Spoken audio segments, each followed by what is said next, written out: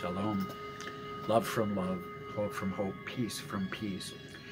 You know, what is the restoration of all things that Christ promised? It's clear understandings, not ambiguous, not seeing through a glass darkly, not knowing in part, but being able to shine as the stars of Daniel 12. These are the days of Daniel 12. And I am the latter day Daniel of Daniel 12, 13, who has embraced my destiny as the Elijah task servant.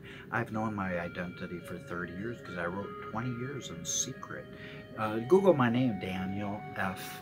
Owsley, O-W-S-L-E-Y. Do images and you'll see some of the 200 books I studied to show myself approved for the job ahead of me. And so in these days, the Lord is saying unto all people, who will come and feed the master's household meat while the master is away.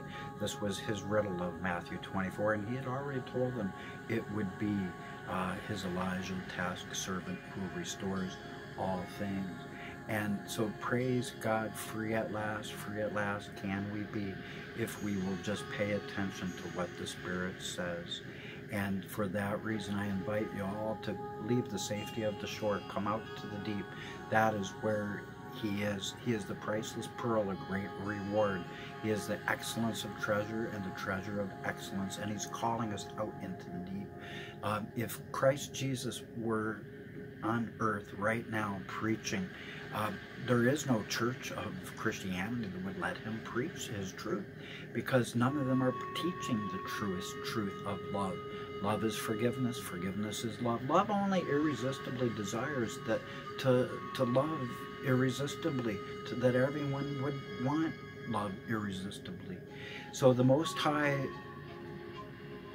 has sent his message and know that he will examine every single and foolish idle word that we speak. Praise God, we're not going to be judged for anything other than was our love light on?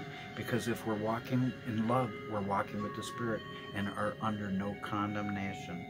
But we will have to give an accounting of the gross darkness of ignorance of love. And you know what? The truth is that there has never been uh, conditional love that is not uh, divine. There is no conditional love that's ever been divine. Only unconditional love could be divine. And so realize that the Lord wants to change our perspectives. For as no one will escape death, so also the works of everyone will be laid open on the day of the judgment of our righteous rewards.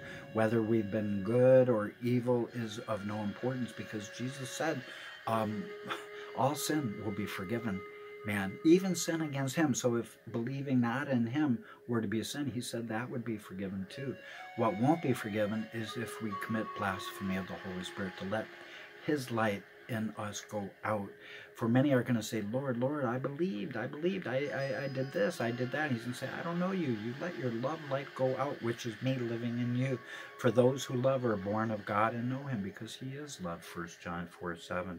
So let no uh, strong man glory in his strength, and nor let the rich man glory in his riches, but let he who wishes to glory, glory only in the unending love of Isa Yeshua Jesus, our risen Lamb of God.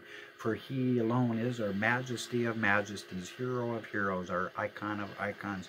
And only unto him let all glory be. Amen.